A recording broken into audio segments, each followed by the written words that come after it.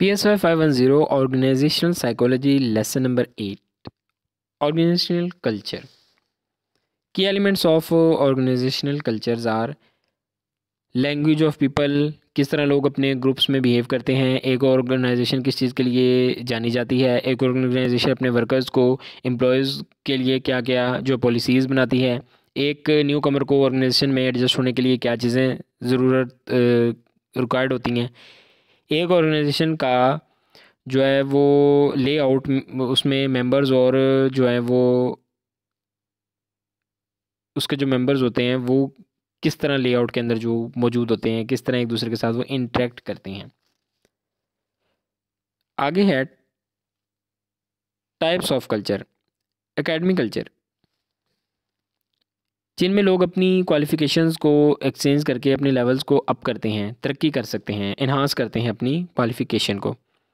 Baseball team culture can high skilled employees can freely move कहीं भी market में move करके अपनी जगह बना लेते हैं। जिस तरह एडवर्टाइजिंग वाले जो एडवर्टाइजमेंट करते हैं, जहाँ पर उनको ज़्यादा जो है वो क्लाइंट्स मिलते हैं, वहाँ पर जाकर वो काम करना शुरू कर देते हैं। क्लब कल्चर एक ग्रुप में कुछ एम्प्लॉय शामिल होते हैं, इनमें सेट हो जाते हैं और लाइफ टाइम इसी का हिस्सा रहते हैं।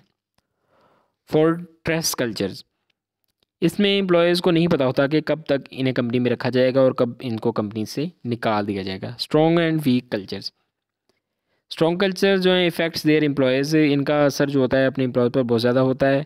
इसमें ऑर्गेनाइजेशन जो है वो इस ऑर्गेनाइजेशन से निकल कर एम्प्लॉयज़ जब अगर ऑर्गेनाइजेशन को छोड़ भी देते हैं तो उस वक्त बाद में भी उनका अपने ऑर्गेनाइजेशन का, अपने माहौल का जो असर रहता है।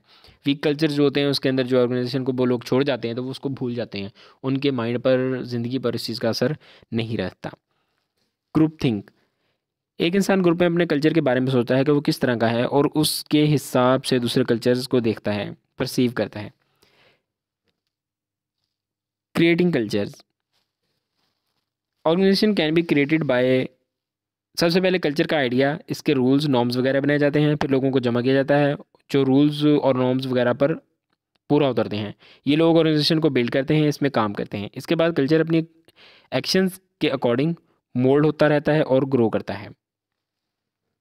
मेंटेनिंग कल्चर सिलेक्शन रिजेक्शन इसके अंदर जो सबसे पहले जो है वो लोगों को हायर किया जाता है, नई सिलेक्शन की जाती है और जो सूटेबल नहीं होते बंदे उनको रिजेक्ट किया जाता है। प्लेसमेंट ऑफ़ जॉब इसके अंदर ट्रेनिंग की जाती है और इसके अलावा जो है, काम के रिलेटेड लोग एक्सपीरियंस हासिल करते हैं अपना। जॉब मास्टरी इसके बाद जो है वो एम्प्लॉय इस जॉब में एक्सपीरियंस हासिल कर लेते हैं एक्सपर्ट हो जाते हैं। उसके बाद आ जाती है मयरिंग एंड रिवार्डिंग परफॉर्मेंस।